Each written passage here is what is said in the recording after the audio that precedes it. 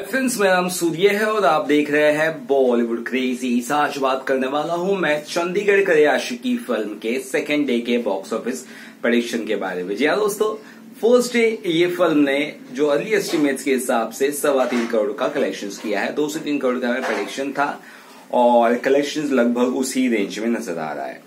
Word of mouth इस film का mixed है पॉजिटिव भी है थोड़ा थोड़ा नेगेटिव भी है और ज़्यादातर इस फ़िल्म को एक एवरेज टैग दिया गया है।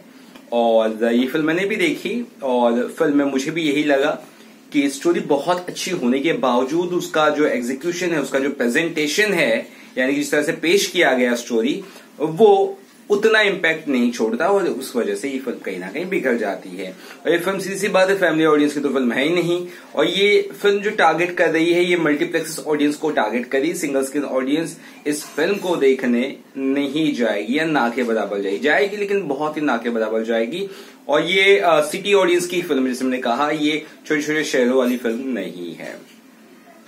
अब यहाँ पे बात करते हैं सेकेंड डे के बॉक्स ऑफ़िस प्रोडक्शन के बारे में। The word of mouth will play key role on Saturday यानी today and tomorrow still I have to give a reasonable prediction for this film ढाई से साढ़े तीन करोड़, जो मुझे लगता है इसी रेंज में होगा। इसके ज़्यादा इसका कलेक्शन होना मुश्किल है। भले ही इसको 2500 प्लस स्क्रीन मिले हैं इंडिया में and five hundred screen overseas market में। That means overall total this film has got three thousand screen across the world, but still the collections will not be as we were, we are expecting, and there could be many reasons for that.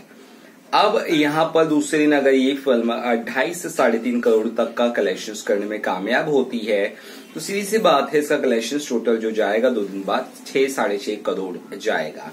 और अगर ये film यहाँ से, क्योंकि इस film के पास सिर्फ़ और सिर्फ़ छह दिन है, छह भी दिन नहीं, पाँच दिन है, क्योंकि छठे दिन Spiderman No Way Home India में रिलीज़ होने वाली है और वो सबकी बैंड बजाने वाली है। उसके बाद सत्रह तारीख को रिलीज़ होने वाली है पुष्पा द द है ना द फ़र्स्ट पार्ट वो भी सबकी बैंड बजाने वाली तो इन दो बड़ी फ़िल्मों के सामने चंडीगढ़ करे आशिकी का जो आशिकी है, आशिकी का भूत है, वो उतर जाएगा, ऐसा मुझे लग रहा है। फ़िलहाल आपकी क्या राय है सेकेंड ईयर प्रोडिक्शन के बारे में ज़रूर बताएगा वीडियो अच्छा लगा तो चैनल को सब्सक्राइब करना ना भूलेगा